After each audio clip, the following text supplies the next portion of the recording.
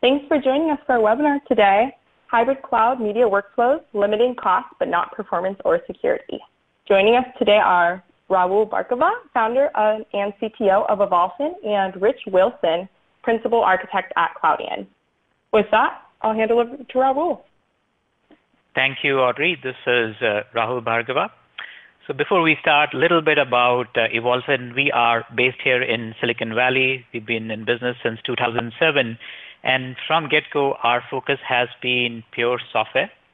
We are agnostic to the various hardware um, integrations that we support, whether it's with storage or archive. But we do um, test out these integrations with key partners, and one of the key partners is Cloudian. So we have direct Cloudian Hyperstore integration, which we'll cover in this uh, webinar. The use cases for Evolphin solutions tend to be pretty diverse from media and entertainment to healthcare, etc. And that's because of the virtue of our um, plugin support and, and the breadth of our product. Rich? Thank you, Rahul. Uh, Rich Wilson here. Nice to meet everyone. Uh, Cloudian uh, was founded in 2001 as Gemini Mobile, uh, and we were founded with a clear vision to revolutionize data storage by bringing object storage to the enterprise, uh, which is unlike expensive, complex, and proprietary uh, products uh, that came before it. Cloudian's technology allows all sizes and types of users to realize the benefits of object storage within your data center. Uh, we're based in Silicon Valley, uh, and we specialize in S3 compatible object storage, and we've of course partnered with Evolphin and integrated with the Zoom product. Uh, and our technology roots are in the large-scale enterprise message space as the core Gemini Mobile product. Uh, and Cloudian introduced our Object Store platform in 2011. Uh, and we've received the largest funding for distributed file systems and object store providers um, a couple years ago. So Evolphin and Cloudian have been partnering since 2016 and we have a very well-oiled integration that has been hardened across several large customers. We are managing millions of uh, assets and petabytes of data between Evolphin's uh, media asset management solution and Cloudian as the archive. And as part of the partnership, some of the benefits that come to customers are a unified support model Oftentimes, when you are integrating with other solutions, it's hard to pinpoint where the issue is, but all of those have been streamlined. And both the companies follow the latest trends in the industry and are constantly looking at uh, integrating with new features. Now, Evolphin, uh, from a market standpoint, uh, is built on three pillars. The first one is DAM, Digital Asset Management. Often DAM is thought of as the uh, asset management solution for general users. So if you have finished content, videos that you want to promote, distribute, you use a DAM, and they often have fairly simple user experiences. But the DAMs are often not well suited for large media and high-res files. That's where our MAM pillar comes along. With the MAM, we can manage any kind of media, high-res, 4K, uh, and uh, essentially automate the ingest of media, automate the transcoding, AI analysis, and archiving to stores like Cloudian. And then the final pillar is PAM.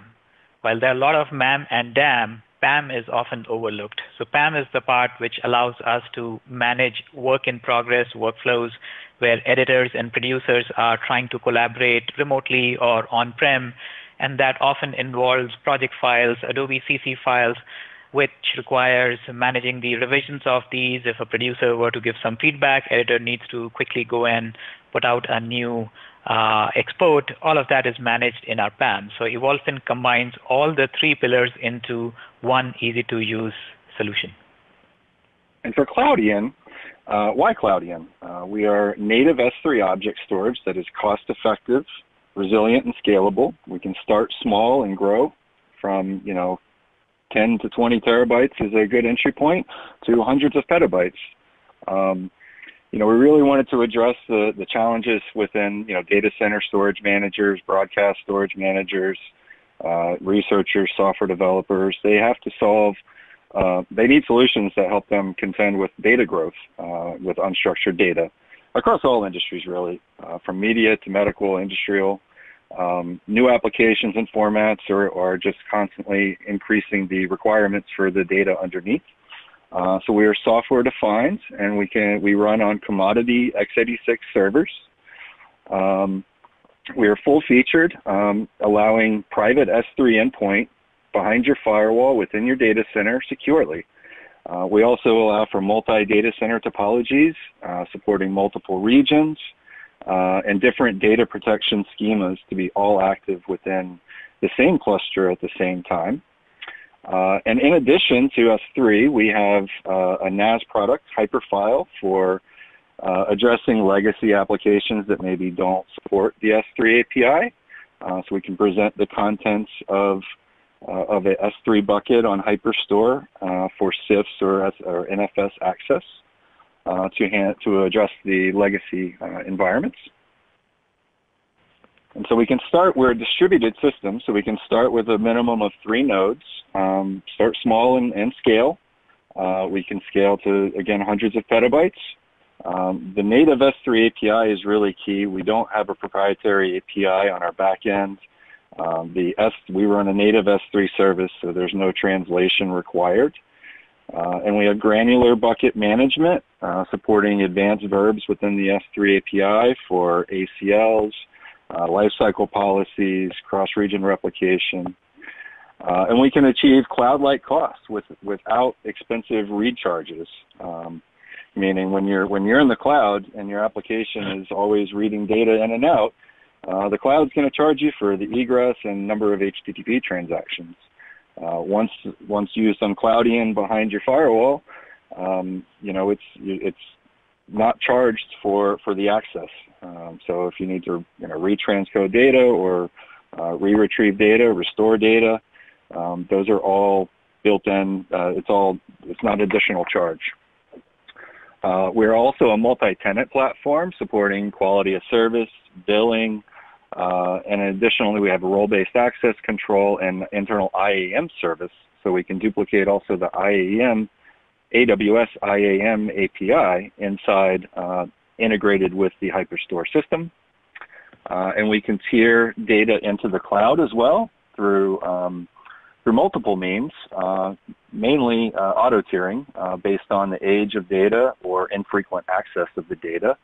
Uh, and we can create instant copies in the cloud too in the case where, where you need to burst into the cloud for leveraging cloud compute resources. Uh, and also uh, built-in data protection, multiple data protection options that I'll, I'll get into in a little bit uh, with standard self-heating, self-healing um, uh, options for, you know, scrubbing the data, making sure that all the data and bits are intact on the back end. There's um, integrity checks going on. Uh, as well as geo-distribution that I will get into uh, further on. So why Evolphin? Um, one of the challenge of media management historically has been it's been the realm of administrator power users because videos are large and uh, often requires a lot of technical expertise to manage them, archive them. The thing that Evolphin does unique is to give a simplified, beautiful user experience on the most complex aspect of workflows. It's like a Evolphin Photos app but designed for the complex world of media orchestration and archiving. So when people look at Evolphin first, they are astounded by the user experience, whether you are using our web clients, which are designed to allow you to browse any kind of media, whether it's sitting in an archive or sitting in the cloud. You have a simplified uh, mobile experience that allows you to get to any kind of media irrespective of the location.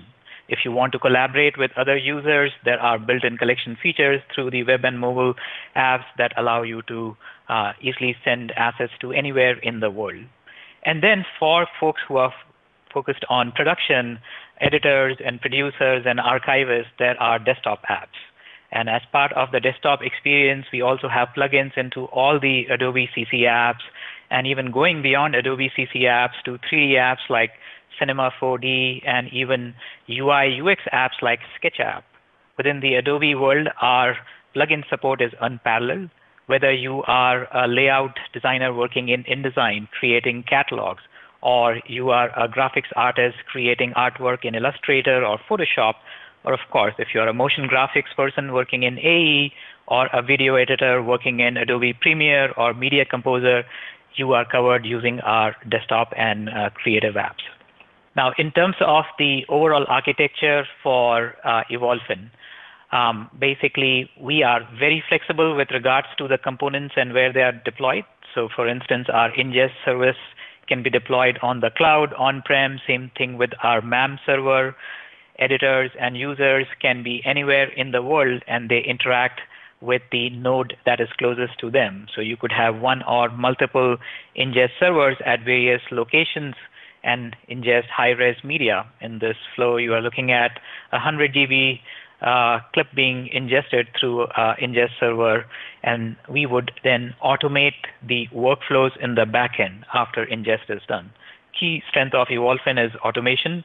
So as you can see in this diagram, we would like to take a high-res file, generate proxies, generate mezzanine files out of it using transcoders on-prem or on the cloud, we also want to send a copy of the media for archiving for security and backup to a Cloudian archive store. We want to make a copy of the high-res media optionally to uh, on-prem SAN and also trigger various AI engines for data analysis. So with Evolphin, you as the user doesn't have to spend a lot of time orchestrating and putting together these complete, uh, these complex workflows. These are all automated out of the box. Right. So what is what is object storage? Uh, or it's also called object-based storage. Uh, it's all accessed, accessing data or files. Uh, the objects are really just files uh, over an HTTP RESTful protocol, uh, just like a web URL. Uh, all content or files essentially become a, a hosted web URL internal to our distributed object store cluster. Uh, and this is where Evolphin uh, would be configured to connect to your particular um, S3 endpoint that is typically uh, behind a load balancer uh, to distribute and load balance the traffic to the underlying systems. Uh, within our systems, we do not run, um, you know, different server roles. Uh, every server within our system runs the S3 service. so it is scalable, horizontally scalable. Um, and within, you know, object storage, instead of storing files in a file system or under directories where the file system is maintaining the inodes, um, it's a flat namespace over this RESTful HTTP uh, protocol. Uh, there's no file system, uh, and so each uh, data is written into what's called a bucket or a container, uh, and each bucket or container is unique to um, to its within that cluster. Um, there can't be duplicate names, um, but being a multi-tenant platform, there can be different different users that have the same name. Um, but but the buckets must be unique within the region within that uh, within that system. So why should we why consider object storage? Um, you know, it increases the storage scalability. Uh, it increases it reduces the cost of storing and reduces the cost of accessing the data, uh, as well as reducing the management uh, requirements to, to manage the storage infrastructure. Um, there's many different mechanisms in, built into the S3 API uh, in, that define how you can access the data, uh, whether you do a, a, byte range read request or multi-part upload. Um, there's different, many different um, options or operations that are part of the S3 API. Uh, in addition, there's metadata that is associated to a file. Typically on a traditional file system, the metadata is stored within the file system. You know, who owns the file, who created it. Uh, within object storage, that can be abstracted and manipulated without actually performing any I.O. operations against the data. Uh, so it's simply adding tags. Uh, metadata tags can be um, added without needing to modify the data. Uh, in addition, there's greater data protection capabilities. Uh, we support replicas and erasure coding. I'll get into that a little bit later. Uh, and we're a single namespace regardless of the geography and maximizing the uh, data, data availability. Um, so as a user or developer, you can you know, securely manage and access the bucket and the data anytime and anywhere in the world. um, as long as you have that web access to that internal uh, network.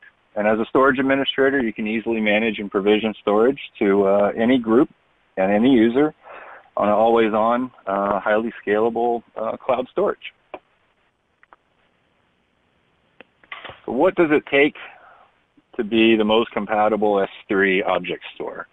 Uh, so on the left side, we, we have uh, our compatibility view covering, you know, the S3 aspects uh, that there's overlap, uh, and then also the multi-tenant aspect. So there's an admin API for automating uh, provisioning of users and tenants, uh, running reports, defining QoS policies, monitoring. Um, it's all prepackaged and supported. Um, and so anything that it takes to administer our system, we, we built into our admin API. Uh, and that is secure and can be also connected into uh, like internal Active Directory systems. And on the right side, the S3 API, um, you know, the red uh, is are really the basic operations that are common across all object stores. You know, get bucket, get object, put object, basic read and write operations. Then we have in the orange more moderately complex operations for website URLs or uh, ACL support, uh, multi-part upload, uh, posting objects versus just putting. Uh, and then at the bottom, the green, are the more advanced, complicated uh, operations that are that are more difficult to provide. Uh, request payment, uh, get bucket CORS, put bucket CORS, uh, lifecycle policies, uh, tagging, um, versioning, and things like notifications. There's a lot of different things that are available in the S3 API that um, that we also implement. And more, mostly, you know, the S3 service, uh, it's not just about the the ins and outs of getting the data. Um, it's important to match the spec of the AWS SDK for error responses, the proper RESTful error format, the proper request and response headers, so that Evolphin, you know, they're, they're going to interpret the appropriate response or, or expect a response similar to what AWS does. So we pride ourselves in, in adhering to that spec very closely. Uh, in addition, supporting the uh, signature version 4 authentication requests. We've had this in our product for uh, since day one, um, as well as you know supporting the operations on the service, buckets and objects, and ACLs. Thank you. Um, multi-location capabilities, that is a key part of Evolphin's offering. Now, location might seem like a simple concept, but in Evolphin system, it's formalized. So it is aware of locations which can be virtual. In this visual that you see, we have physical locations, Miami, San Ramon, Boston, cloud. So you could have the solution distributed across multiple locations physically or within a large office. You could split location based on buildings, departments, or when you're working from home because of COVID-19, your location could be your home office. By being aware of the location, Evolphin can do some fantastic automation. So for example, when you are ingesting content, it's aware that what's your location and it'll copy the high-res media that you're ingesting to your storage, whether, it, whether it's a portable drive or a SAN or NAS. When you are looking at making, uh, sending a copy to archive like Cloudian S3 uh, it knows what your location is. The location aware hub can send it to the right, right Cloudian device. So if I'm in San Ramon, it will have the copy end up in the Cloudian uh, store in, in San Ramon and in Miami, the Miami specific store. If I am in the cloud, it can send it into S3. And that then allows you to do smart restores. So if let's say I'm in Boston and I'm looking for some files which are sitting in the archive in San Ramon and I request the files, it can go and query the database and it's aware the location is San Ramon and it'll then do a transfer from San Ramon to Boston. And that transfer might happen over our accelerated S3 transfers, or it might use a file acceleration system like Aspera. This would be automated from a user's perspective. If a user in Miami is requesting content, let's say that is in all three locations, San Ramon, Boston, cloud, some files are in cloud, some files are in Boston, they don't have to think about where to pull the file. They just request and the system will use the location awareness to bring down the content to the right uh, uh, um, storage at that location. Now, why bother with a, a DAM, MAM, PAM solution that covers all the three uh, pillars? The number one reason for our customer is security. You could go and put things into an archive or directly into storage, but then there is no security. Anybody could come in and move content, delete content, and can play havoc with the um, archive or the file system, especially when you are talking about large volume of uh, files. So this is where the gatekeeper approach of Evolphin comes in, which manages the assets uh, uh, securely. Now, once you have your assets secured, you need to have strong configuration management. If something changes, if somebody retouches an image or renames a file, you need version control capabilities that go beyond just keeping multiple copies of assets, whereby they can actually track the changes. And one of the most unique feature Evolphin has, which I'll discuss later, is the deduplication technology we have built. Uh, collaboration is a key aspect of uh, working with uh, assets, being able to deliver assets to various uh, endpoints, being able to bring people together without duplicating content in multiple services. That's managed using our collaboration engine. Being able to know where you are in the workflow. Is uh, editor done making the changes that you asked for? Is this content published or do you need to do a takedown and this content is uh, expired? All of that is made possible using the extensive search capabilities that Evolphin has. And these search searches go beyond just searching via metadata. You can set up automation based on search where you could schedule something and it can go and trigger a workflow based on, on the uh, search results. Being able to tier assets, uh, that's key for keeping the cost down. So you might start with assets in a SAN, then you want to put them into a Cloudian store, and then you might want to make them go into a deep glacier for reducing the cost. So all of that can be managed using uh, our, our solution. Uh, I have mentioned automation a few times. We leverage automation in variety of workflows, ingest being the first one where you can set up ingest rules on how to treat a particular piece of media. Does it need to be transcoded with uh, this bit rate or that bit rate?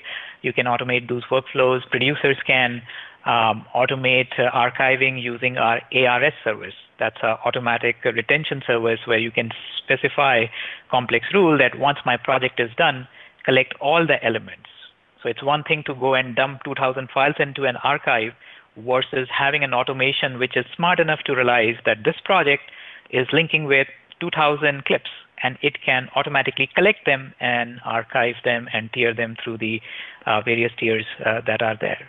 And then same thing when you are bringing projects back online, you don't want to go and find 20 files and trigger restore. With our system, a producer could say, hey, I want to reuse this uh, project and we are responsible for figuring out all the objects that are used, being used in that project and bringing them alive.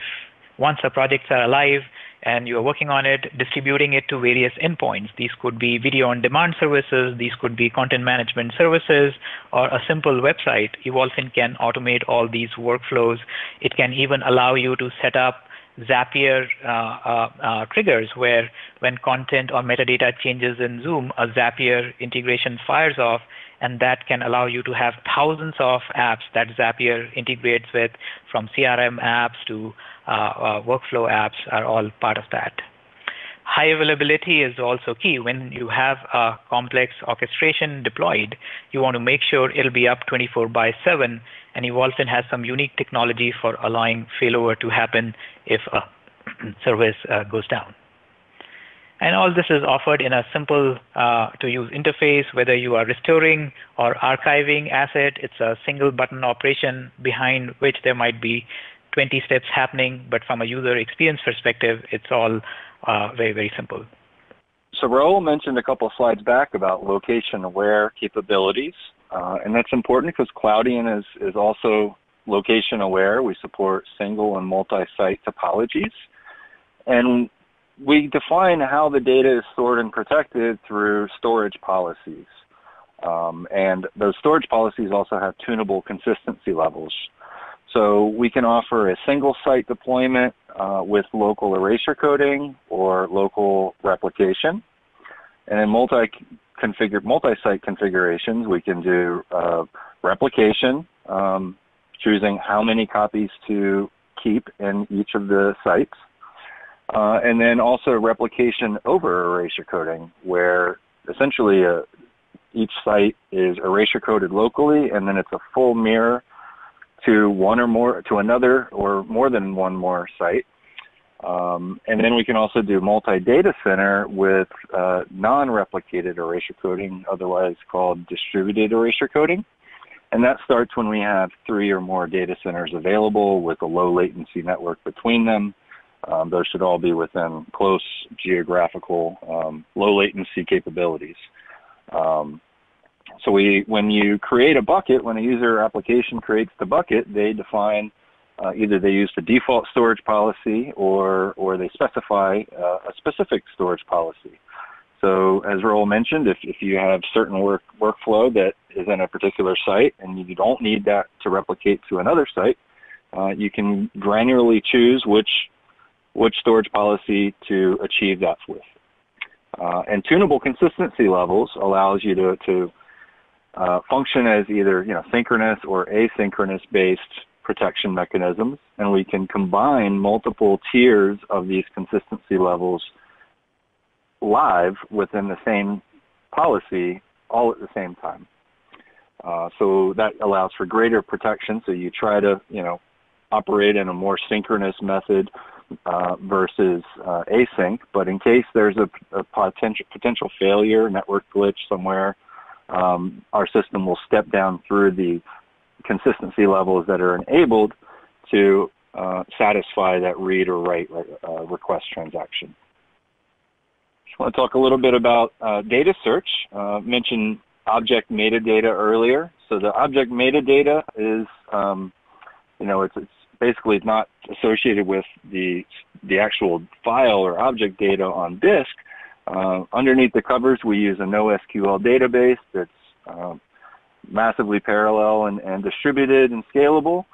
And we can uh, enable metadata synchronization into a cluster of Elasticsearch or into other, you know, into Zoom.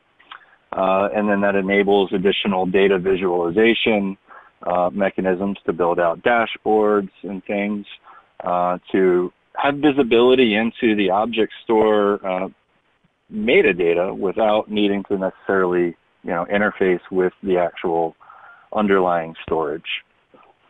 So using Evolphin um, search using metadata and even restore using metadata as possible, you could go and locate a piece of content or multiple file and then just right click uh, restore and it has metadata about the location and can uh, then bring down the content to wherever you are requesting it from. Now, uh, besides managing your high-res media in Evolphin, we also allow you to manage any type of content, and especially content that is uh, used by editors like Premiere project files or After Effects project files or design files, images.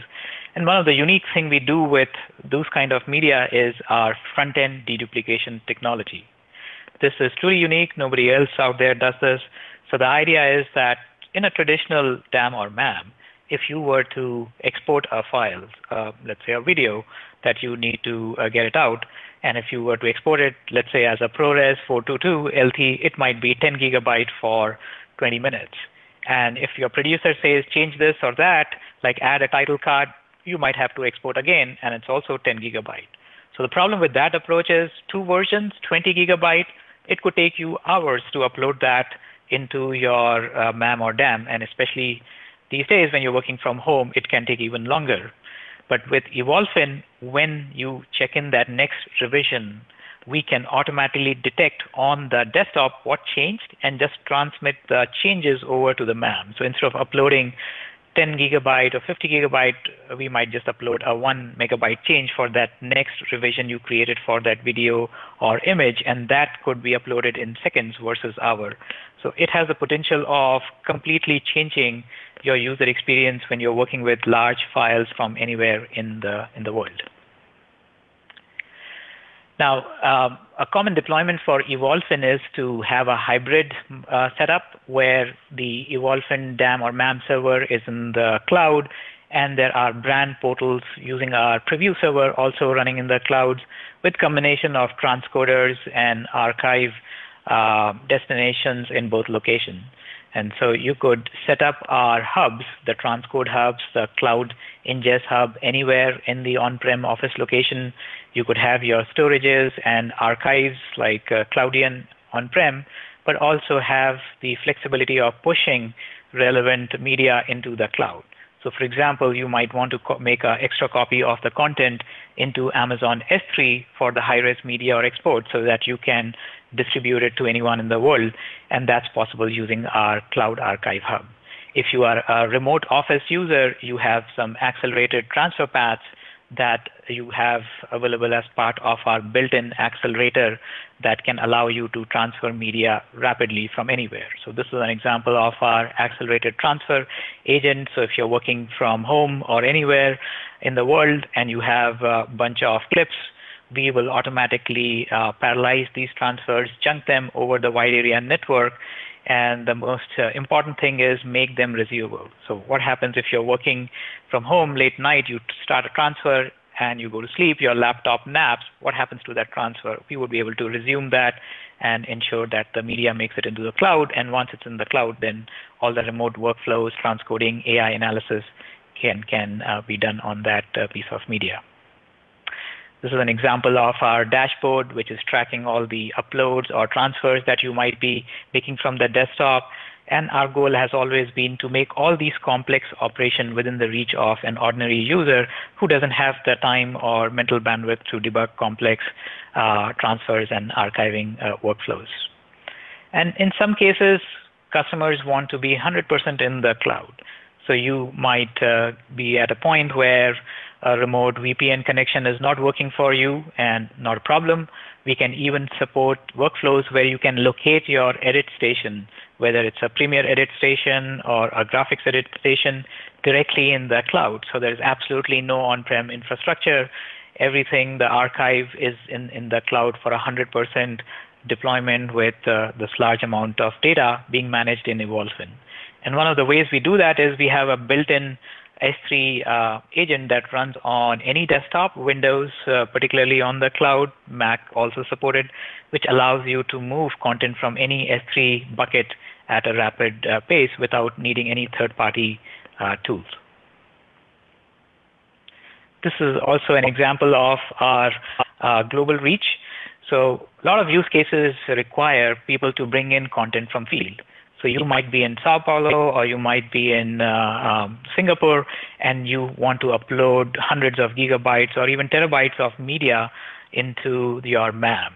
We offer uh, web endpoints that allow you to set up a S3 URL or bucket in that specific location where you are so you would just upload your high-res media into that uh, nearest location to, to you. And once it makes it into the Singapore location, for example, here, we would use the uh, backend uh, acceleration that Amazon offers to move content from Singapore to, let's say, New York over a backend network that operates at 10 to 25 gigabits per second, and then make the media accessible either on-prem in New York, make a copy into Cloudian uh, uh, object store.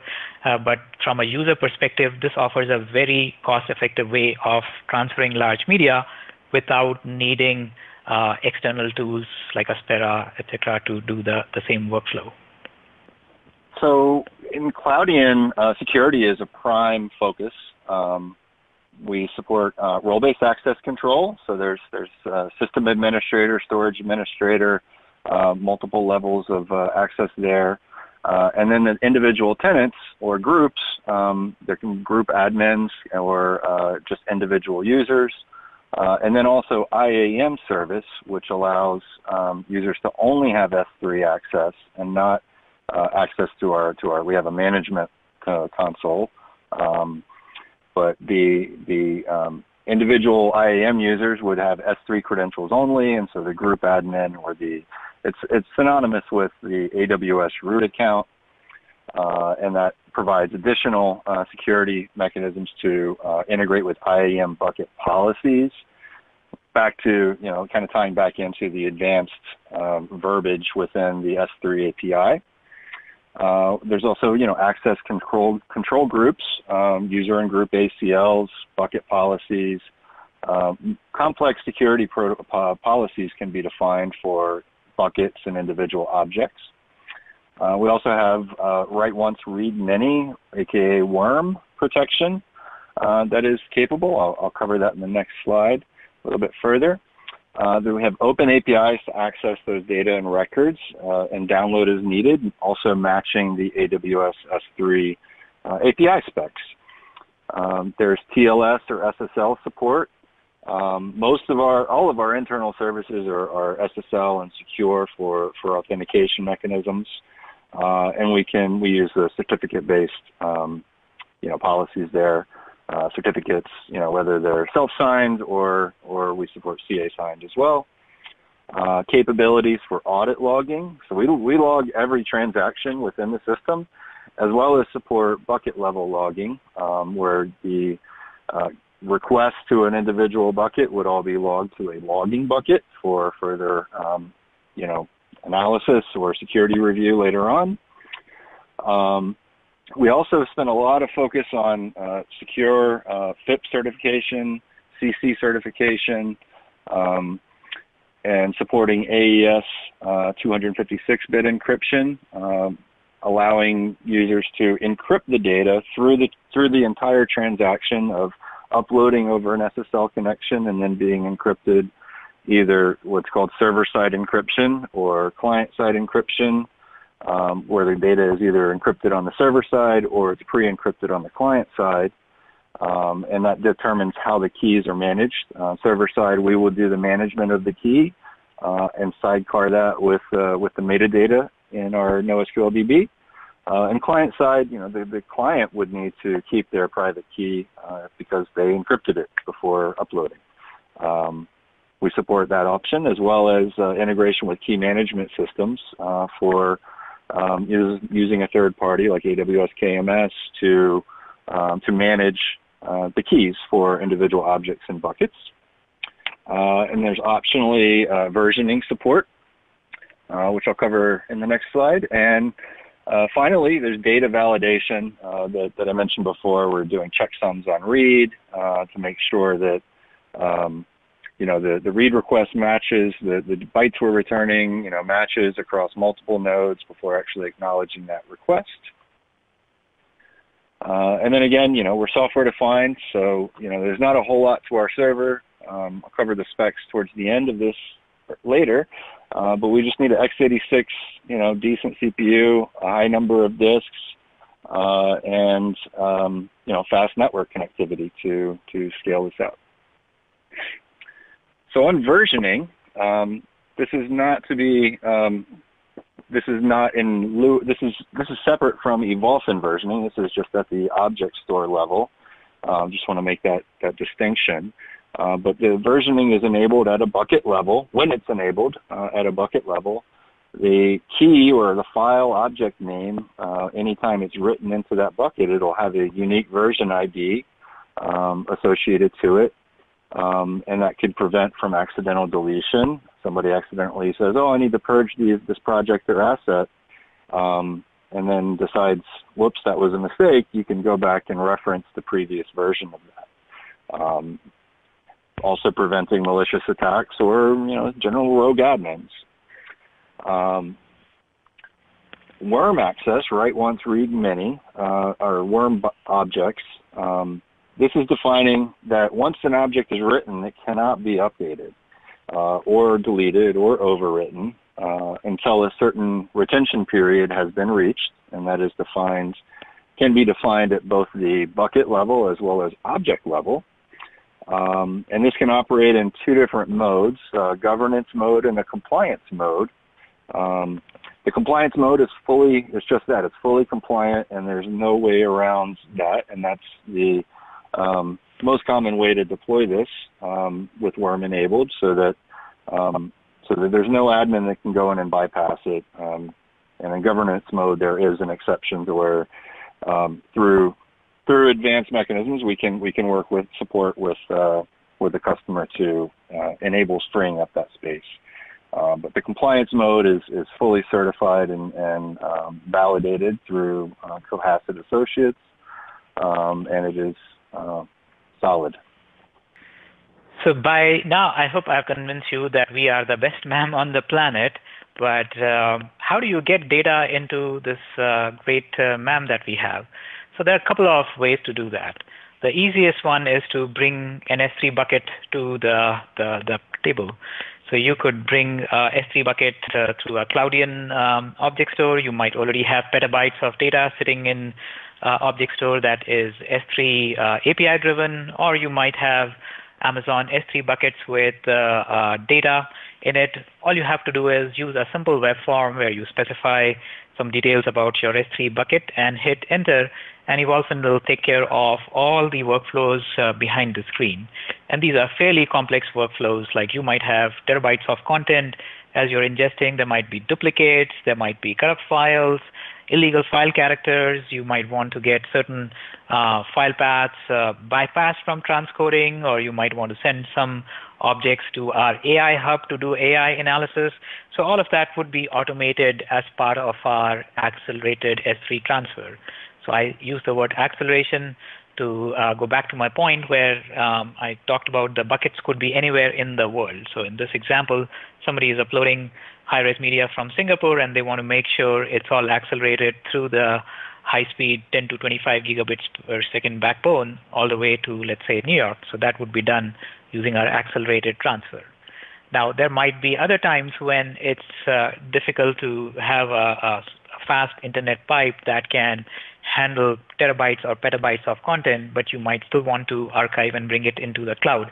So we offer a secure data box service where we will ship you a secure data box with AES 256 encryption, tamper-proof, and um, this box can be overnighted to you. You just dump all your data from various drives and archive backends into this uh, secure box and FedEx it back to our cloud provider uh, overnight. And then once it is there, the process is automated. That data box automatically gets plugged in into our uh, networks, and we start to then run a bulk uh, ingest uh, uh, automation to start moving the content out, transcoding it, doing AI analysis, and this could be completed in a matter of days. And then all you have to do is plug in your home computer into the cloud uh, connection and you're ready to, to go. And this is something that has uh, really helped a lot of companies where they have struggled with how do we get all this data in, into the cloud? And now there's a secure way of doing that. Thank you. Uh, so these are the uh, deployment options that Cloudian offers. Um, there are a couple other uh, different appliance specs, but uh, an entry level is a is a 1U server that has 12 high capacity drives of various sizes. Um, the entry capacity is about 96 terabytes. Um, and we also have our 4000 uh, unit and a uh, another one that's called a 4516 unit. Uh, and those have either 70 or 96 high capacity drives in a four rack unit system. Uh, and then there's a pair of SSDs in those, uh, and they come with 10 gig networking. Um, and then we can also be deployed with software only. So if you have standard commodity servers that um, you'd like to reuse, then then those can be um, can run software only uh, as well. So thank you. I want to pass it over back over to Audrey. If you need more information, you can find us at evolphin.com and cloudian.com. And back to you, Audrey. Thanks for that. Uh, I'd like to thank Rahul and Rich for their time today and our audience for joining us as well. We do have some time for a couple questions. Um, so if you have any, please be sure to enter them into the tab at the bottom of the screen if you haven't done so. I also wanted to point out again that we have included some content in the attachments tab at the bottom of your screen, so be sure to check those out as well. Um, with that, I'll move to our first question. First question is, can Zoom and Cloudian be deployed as an HADR configuration? Yeah, this is Rahul. Um, Evolphin Zoom supports uh, a non-stop uh, mode, which is our high availability disaster recovery mode. You can set up replicas around the world or in the same building for automated uh, failovers and disaster recovery. And similarly, Cloudian is a uh, you know it's a distributed system that can also be uh, config- that is configured in a high availability, capable of DR uh, configurations if spanning multiple sites. Uh, all of the content is is protected as as uh, outlined earlier, so that it tolerates you know either a you know, node level outage, multiple nodes outage, uh, or even a site outage, depending on the the different implementation topologies. Thanks, guys. I'll move into our next question. What's the difference between version control on Cloudian and version control on Evolphin Zoom? So on the, the on the Cloudian, oh, you want to go ahead? oh no, no, go ahead. First. Sorry for that. Okay, sure. So the the version control on on Cloudian um, is going to uh, create a, each each version of an object is going to be a full duplicate of that object. Uh, whereas the Evolphin uh, side, as, as Rahul went through, it, it, could the version control could only cover the delta between uh, between those objects. Yeah, that's right. So when we create a version in Evolphin, we avoid making a full copy. We just store the changes as uh, forward deltas so that you can reconstruct them at a later point. Yeah, and on the Cloudian end, so it's a full copy so that, you know, in case of accidental deletion or ransomware, there's a full copy available from previous versions. Great, thanks guys. Moving into our next question. What performance changes do you see if a Evolphin Zoom is running in the cloud and the Cloudian storage devices are running on premise? So as far as Evolphin is concerned, it's orchestrating um, components anywhere. So even if it's running in the cloud, it'll be orchestrating an archive hub that would be on-prem. So if we need to order that archive hub to restore content um, and make a copy into Cloudian Object Store or the other way around, it's really talking to the local servers that's running and it's operating at a LAN speed. So it doesn't really add any uh, delays, but you get the benefit of uh, a cloud deployment. Great. Move in. I think we have one last question here. What happens to my video edits if I lose my internet connection while editing? How does Evolphin Zoom handle this? So if you um, basically lose internet connection while editing, one of the key differentiator for us is you can always have an edit proxy checked out into your local drive. So you do not need a connection to stream the proxy or the asset. So you could be sitting in, in your basement and editing files, and then only at the point where you are ready to publish a milestone like check in a Premiere project or uh, publish a, a, video, you required uh, internet uh, connection. Great. I think that concludes our questions for today. If anyone does have any open questions, please be sure to reach out to us at um, info at cloudian.com and info at evolphin.com. We can answer any additional questions. Um, you can go to our websites as well for more information. Thank you again for joining us.